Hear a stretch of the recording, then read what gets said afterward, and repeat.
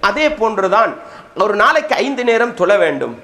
அந்த ஐந்து நேர தொழுகையில சுபகு தொழுகை இருக்குதே. நிறைய பேருக்கு தவறி போகக்கூடிய தொழுகை. அசர் தொழுகை இருக்குதே. நிறைய பேர் பொடுபோக்கு செய்யக்கூடிய தொழுகை. ஏன்? பிஸியான நேரம். பிஸியான நேரம். அந்த ரெண்டு தொழுகைக்கும் இஸ்லாம் நிறைய சிறப்புகளை வச்சிருக்கு. தனிய சிறப்புகள் வச்சிருக்குது. அதுல உண்டு என்ன தெரியுமா? ரசூலுல்லா சொன்னாங்க அல் மலாயிகா. يتعاقبون فيكم ملائكة بالليل وملائكة بالنهار மலக்குமார்கள் ஒரு சாரார் இருக்கிறாங்க அவங்க இரவையில வருவாங்க இன்னொரு சாரார் இருக்கிறாங்க அவங்க பகலையில வருவாங்க ويجتمعون في صلاة الفجر பகல் நேரத்துக்கு வரக்கூடியவங்களும் இரவு நேரத்துக்கு வரக்கூடியவங்களும் சுபகு தொழுகையில சந்திப்பாங்க. வசலாத்தில் அசுர். அசர் தொழுகையில சந்திப்பாங்க. எப்படி? சுபகுக்கு வாரவங்க அசருக்கு போவாங்க. அசருக்கு வாரவங்க சுபகுக்கு போவாங்க மலக்குமார்கள். அதனால சுபகு தொழுகையிலையும் அசர் தொழுகையிலையும் ரெண்டு மலக்குமார்களும் இருப்பாங்க. அன்பாண்டவர்களே இஸ்லாமிய உறவுகளே அந்த மலக்குமார்களை அல்லாஹ் விசாரிக்கிற பொழுதோ அல்லாஹ் கேட்பான் நீங்கள் போற நேரத்தில் என் அடியார்கள் எப்படி இருந்தாங்க? நீங்க அவங்களை விட்டு பிரிஞ்சு வார நேரம் எப்படி இருந்தீங்க? நாங்க சொல்லுவாங்க போகும் பொழுதும் தொழுது கொண்டிருந்தார்கள் திரும்பி வரும் பொழுதும் தொழுது கொண்டிருந்தார்கள். அப்ப இவங்க யாரை மட்டும்தான் பார்ப்பாங்க? சுபகு தொழுகிற மனிதர்கள் அசர் தொழுகிற மனிதர்கள். ஜமாஅத்தோட தொழுவமாக இருந்தா இந்த பாக்கியம் கிடைக்கும் சகோதரர்களே. இந்த ஹதீஸ் புகாரில வரக்கூடியது இதுல இபுனு ஹுசைமாவுலையும் இபுனு இப்பான்லையும் ஒரு பகுதி மேலதிகமா வந்திருக்குது. எப்படி தெரியுமா?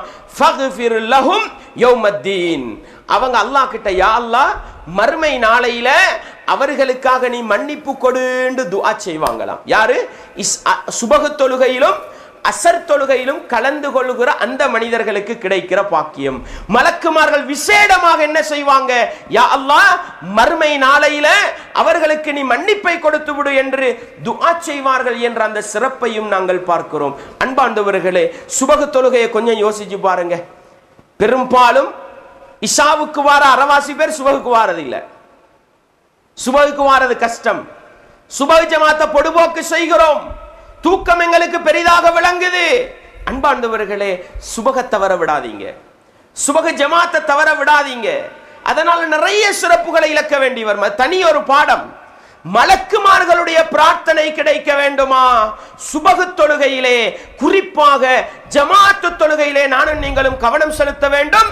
ஏன்? மலக்குமார்கள் எங்களோடு சம் சங்கமிக்கின்ற நேரம். அல்லாவிடத்தில் சென்று தொழும் பொழுது அவர்களை சந்தித்தோம். தொழும் நிலையிலே விட்டுவிட்டு வந்தோம். அவர்களுக்கு மறுமை நாளை மன்னிப்பு கொடு என்று பிரார்த்திக்கின்ற சந்தர்ப்பம் கிடைக்கும். அசர் தொழுகை பிஸியான நேரம் விறுவிறுப்பான நேரம் நேரம் ஒதுக்கேலாத நேரம். அப்படித்தானே?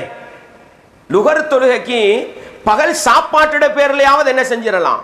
நேரம் ஒதுக்கிடலாம். ஆனா அசருன்றது கொஞ்சம் கஷ்டம். ஏண்டு சொல்லுங்க பார்க்க. இன்றைக்கு எங்களுக்கு அசர் வந்து நடுவாவிட்டுது சாதாரணமாக இந்த மின் வசதிகள் எல்லாம் வாரத்துக்கு முன்னால சூரியன் மறைகிற நேரம் கடையை மூடணுமே. அப்போ அதற்கு பின்னால் கொஞ்ச நேரம் தான் இருக்குது. அதனால கடையை மூடிட்டு வந்து தொழுதுட்டு போய் திருப்பி கடையை தொழுக்கிறன்றதெல்லாம் பெரிய கஷ்டமான காரியம்.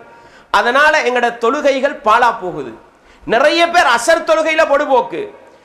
அன்பாண்டவர்களே அசர் தொழுகையில் கவனம் செலுத்துவோமாக இருந்தால் மலக்குமார்களுடைய பிரார்த்தனைக்கு நாங்கள் ஆளாகலாம் என்கிற பாடத்தை மறந்து விடாமல் புரிந்து கொண்டு அன்பாண்டவர்களே இஸ்லாமிய உறவுகளே இப்படி பல சந்தர்ப்பங்களில் எங்களுக்காக மலக்குமார்கள் பிரார்த்தனை செய்கிறார்கள் என்ற பாடத்தை நானும் நீங்களும் ஒருபோதும் மறந்துவிடக்கூடாது.